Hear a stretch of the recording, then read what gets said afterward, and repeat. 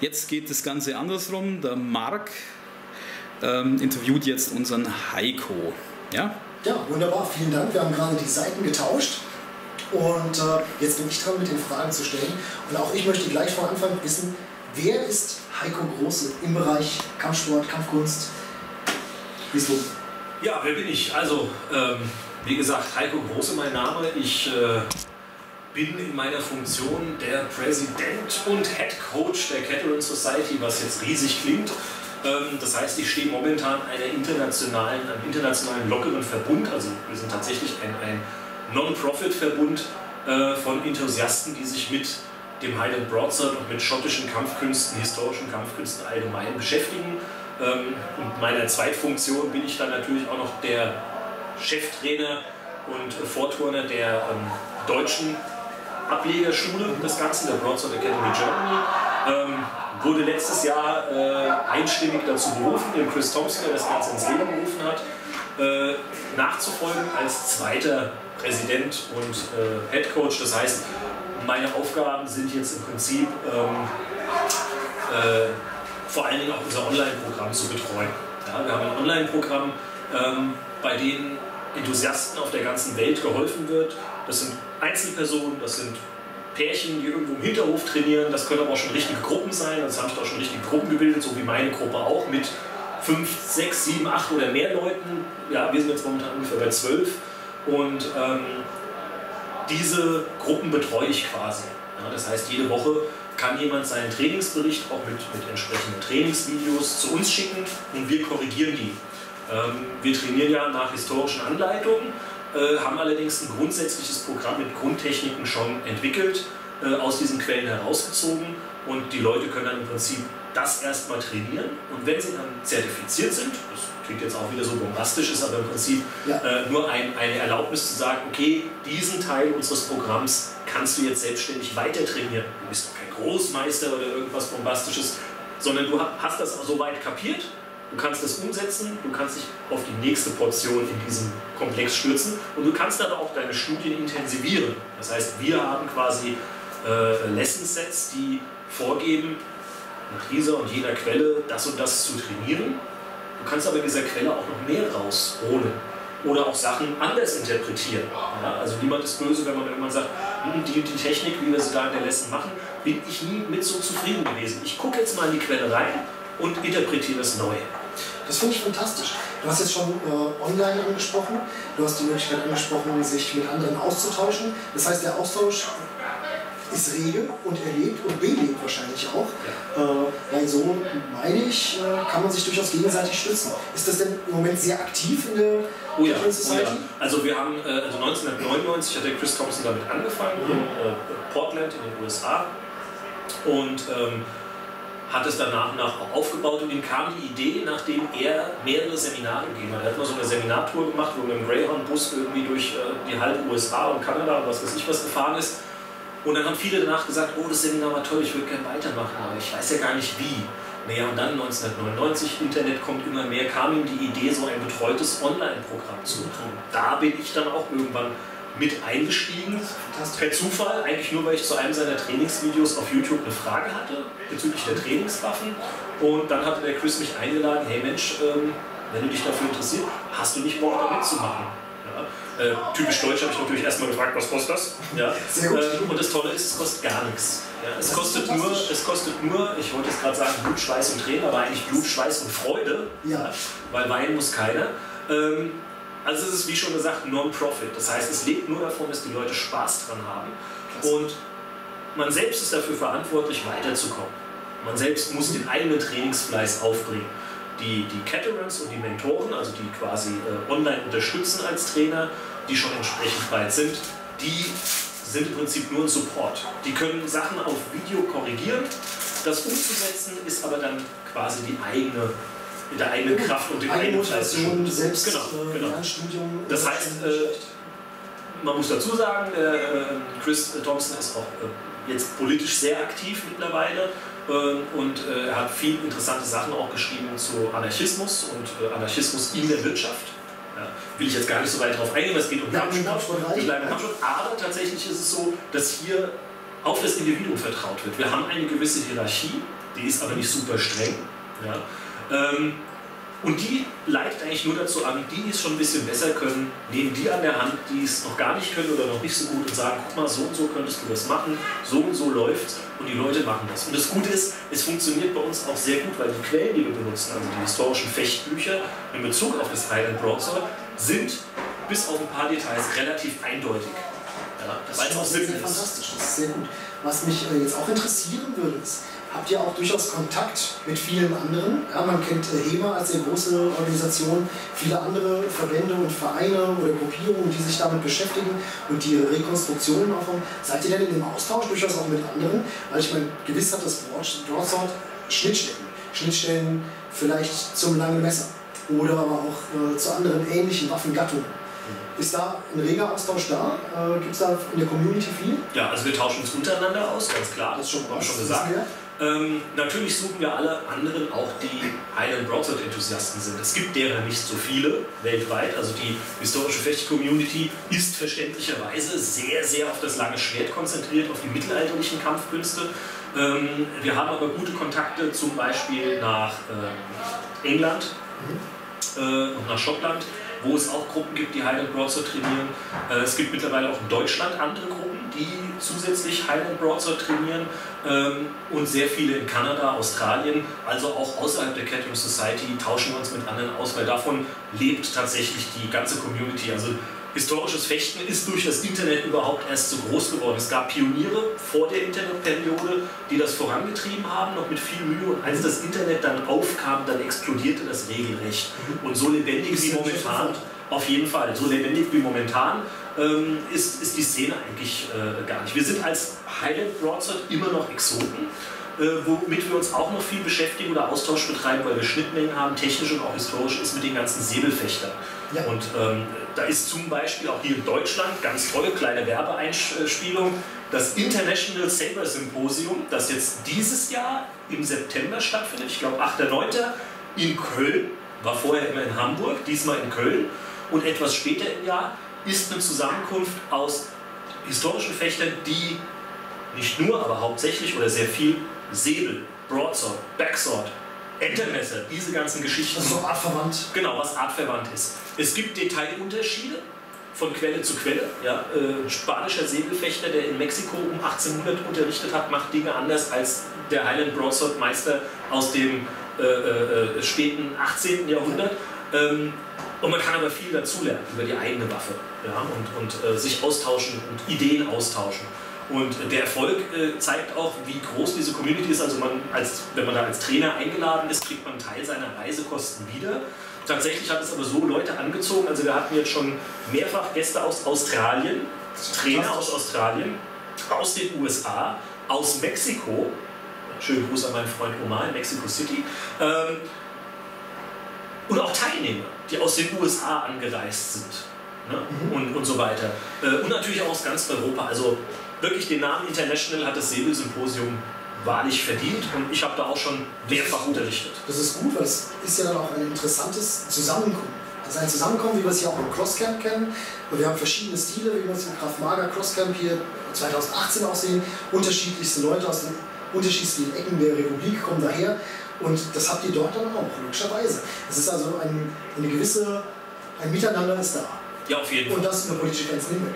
Das sowieso. Politik spielt gar keine Rolle. Ähm, äh, wir sind einfach, wir sind einfach, ja, man ist einfach beisammen. Ja? Mhm. Und äh, äh, da ist es dann auch toll, in Australien da zu haben, den Andrew Brew, der polnisches Säbelfechten unterrichtet, oder einen Deutschen wie mich, der Highland Broadsword unterrichtet, äh, oder einen äh, Amerikaner, der äh, Entermesser-Sachen zeigt. Und, Leute aus Frankreich, aus den Niederlanden und aus der Tschechei und wo überall her ähm, sind schon gekommen und das ist wirklich eine ganz, ganz tolle Sache und ich hoffe, dass das auch weiterhin bestehen bleibt. Ist für uns als Broadsword-Fechter eigentlich das spannendste, gezielte, thematisch gezielte Seminar, das wir eigentlich haben und toll, dass es in Deutschland stattfindet. Das ist jetzt fantastisch, du hast schon gerade gesagt, wo geht es äh, hin, also dass es sich so gut weiterentwickelt. Ist das auch äh, eine Position, die du auch weiterhin so von der Entwicklung behalten möchtest oder möchtest du lieber gezielt sagen, die Broadsword Academy oder die äh, Cateran Society soll sich äh, in eine gewisse Richtung entwickeln. Oder so wie es ist, läuft es gut weiter. Es wäre schön, wenn es einfach so bleibt.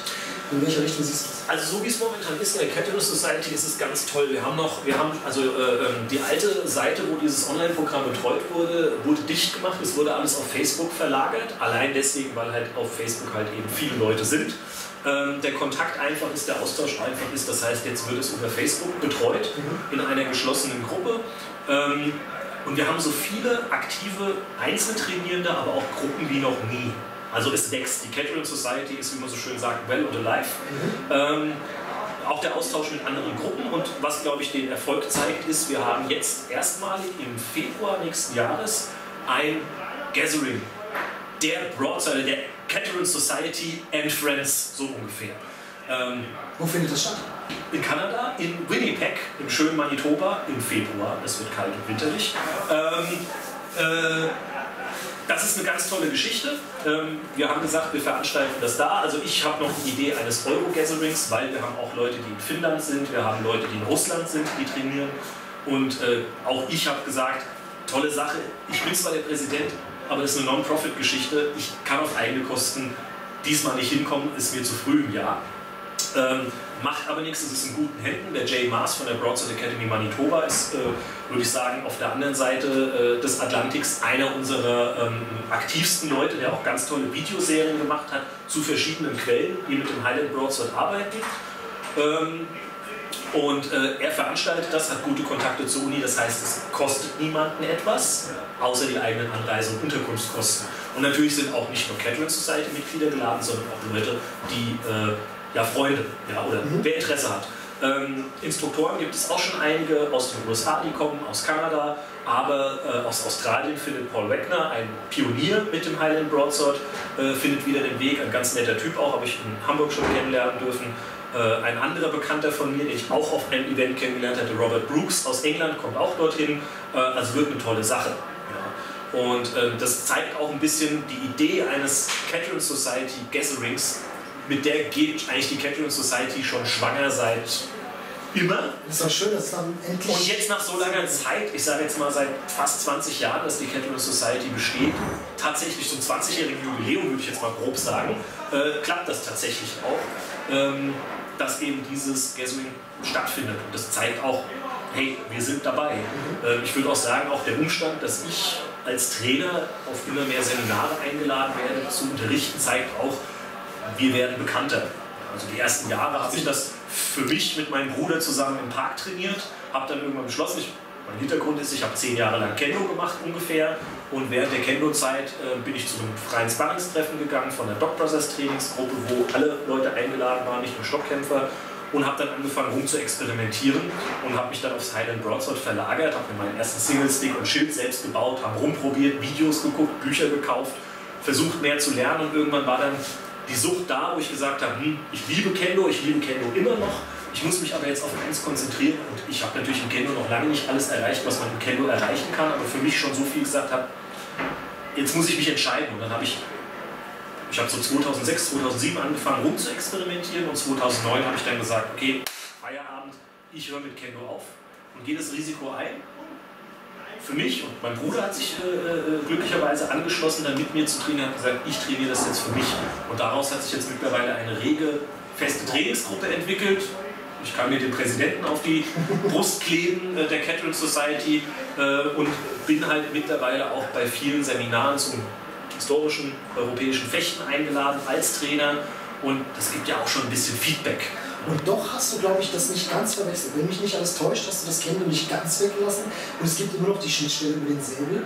Wenn mich nicht alles täuscht, hast du über das Gunto-Jitsu im japanischen Bereich durchaus auch ab und zu mal äh, versuchst zu rekonstruieren. Richtig, da gab es mal ein, äh, von, glaube aus dem Jahr 1909, gab es ein äh, Kenjutsu Kyohan, mhm. so ähnlich hieß das. Ähm, das war tatsächlich Säbelfechten, Schrägstrich Kendo. Also Japan hat da auch eine Entwicklung durchgemacht nach der Landesöffnung von traditionellen Kampfkünsten hin durch westliche, europäische oder auch amerikanische, Last Samurai des Grüßen, Militärberater, ähm, seine Armee zu modernisieren. Und da gab es am Anfang den Zusammenhang, dass die äh, Japaner erstmal angefangen haben, wirklich, ich glaube, das war von den Franzosen, Säbelfechten und Stoßfechten zu lernen. Mit dem Stoßfechten konnten die Japaner gar nicht viel anfangen, mit dem Säbelfechten schon. Und das wurde dann wieder ein bisschen japanisiert. Das heißt, so wie auch die Waffe, zuerst hat man europäische Säbel benutzt, dann kam wieder ein bisschen japanischeres Design rein. Man hat also eine ganze Zeit lang Waffen benutzt, die so eine Mischung waren aus Japan und Europa. Und das fand ich als ehemaliger Kendoka und jetziger Säbel-Broadsword-Fechter super spannend und habe mich dann halt mal hingesetzt und habe angefangen, das zu rekonstruieren, so wie ich es verstehe. Habe dann auch beim International Sable Symposium mal so einen kleinen Kurs dazu gegeben. Ich habe das jetzt nicht mehr weiter verfolgt, äh, weil man kann auch nicht man kann nicht alles machen. man kann nicht alles machen. Aber mein Herz hängt immer noch so ein bisschen dran, auch an dem Kendo, wie es vor dem Zweiten Weltkrieg war, also als noch nur für Fußfeger erlaubt war. Das hat mich immer wieder fasziniert. Also da habe ich den Kontakt nie ganz verloren und es hilft natürlich auch. Ich habe immer noch Kontakt zu ehemaligen Kendo-Kameraden und wir trainieren auch in dem Kendo-Dojo ähm, eines meiner alten Trainer. Da sind wir gern gesehene Untermieter und da trainieren wir. Das heißt, ich komme rein, ich habe die Kendo-Rüstung, Kendo-Luft. So, der Sprecher aus dem Off kommt jetzt. Jetzt kommen gleich die Einheiten und äh, der liebe Heiko wird es nachher natürlich Scottish Backhold Wrestling oder natürlich auch Highland Wrestling, je nachdem, wie es heißt, präsentieren. Ja? Und äh, ich habe das selber schon erleben dürfen. Das ist eine tolle Sache für Leute, auch die Anfänger sind. Also wir fiel einfach auf, also mir persönlich jetzt so. Ähm, dass da Leute trainieren können. Also ich kenne es ja vom Judo. Im Judo braucht man doch schon eine Zeit lang, bis man die Fallschule kann. Aber das hat interessanterweise auch bei unserem Workshop in Günzburg sehr gut funktioniert, dass auch Leute, die zwar Kampfsport machen, aber es sind so die Judo-Cracks wie der Marc oder ich sind oder wie du, die schon Erfahrung haben, sondern da kann man einfach spaßiges Ringen draus machen. Erzähl uns doch mal ein bisschen was über das Backhold Wrestling. Also Backhold Wrestling oder Highland Wrestling ähm, ist ein traditioneller schottischer Ringstil. Ja, man kennt Folk Wrestling Stile, die es ja überall auf der ganzen Welt äh, gibt. Und ähm, dazu gekommen bin ich eigentlich auch, weil ich mich immer schon fürs Ringen interessiert habe. Äh, für alles, was ringerisch ist, hat mir gefallen. Und ähm, äh, ich selbst habe jetzt seit 2016 angefangen, mich intensiver damit äh, auseinanderzusetzen. Ich habe vorher schon mal immer ein bisschen geguckt, aber jetzt haben wir zum Glück auch einen Kontakt nach Schottland zum Zane Gray. Der hat auch schon ein Seminar äh, im Dojo vom, beim Markt trainiert äh, gegeben. Da hatten wir ein schönes Highland Wrestling Seminar mit dem Zane als Einstiegsdroge. Das heißt, ich persönlich bin ein absoluter Ringanfänger und Backhold-Anfänger. Ich äh, zeige, was ich bis jetzt gelernt habe. Aber das Gute ist, wie du schon gesagt hast, es ist ein Stil, der ist leicht zu lernen. Äh, für Leute, die ein bisschen Sorge haben vor Körperkontakt ja, die werden bei Ringstilen, die in der Distanz anfangen, erstmal möglichst viel Abstand halten. Die Leute, die aber beim Backhold-Wrestling anfangen, die werden wegen dieses Backhold-Griffs gezwungen, so nah zu gehen, wie es nur geht. Ja, und da haben manchmal am Anfang viele so, hm, ich weiß nicht, aber es ist ziemlich simpel. Ja, es ist eine simple Ringkunst, du hast auch aus diesem Griff nicht viele Möglichkeiten, was für Techniken du benutzen kannst und deswegen ist es für Einsteiger super geeignet, überhaupt an dieses Ringthema sich anzunähern. Auf jeden Fall. Es gibt auch keinen Bodenkampf oder so. Äh, und für Fortgeschrittene, die aber schon Ringerfahrung haben, ist es auch spannend, sozusagen in diesem limitierten Umfeld zu arbeiten. Für mich persönlich, jetzt als erstmal Schwertkämpfer, war es halt spannend zu sehen, ach guck mal, Techniken im Backhold Wrestling heißen genauso und werden auch ähnlich ausgeführt wie Nahkampftechniken, das haben wir heute bei dem ersten Kurs, den ich gegeben habe, gemacht haben, äh, wie Nahkampftechniken mit dem Broadsword. Das heißt, die haben eine Schnittstelle?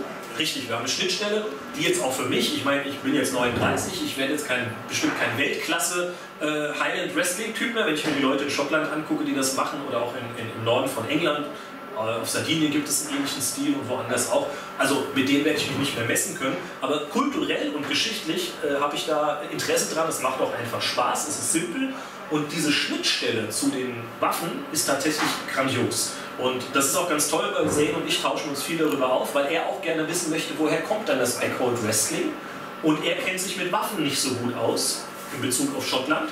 Und deswegen arbeiten wir da viel zusammen. Er zeigt mir das Ringen, ich zeige ihm den Schwertkampf und wir gucken, wo sind die Schnittmengen. Und die zu finden, also hat sich in kürzester Zeit viel gefunden, sagen, wow, ja, richtiger Augenöffner. Klasse, fantastisch. Noch ein paar abschließende Worte? Ja, äh. Heiko, was sehen wir heute von dir?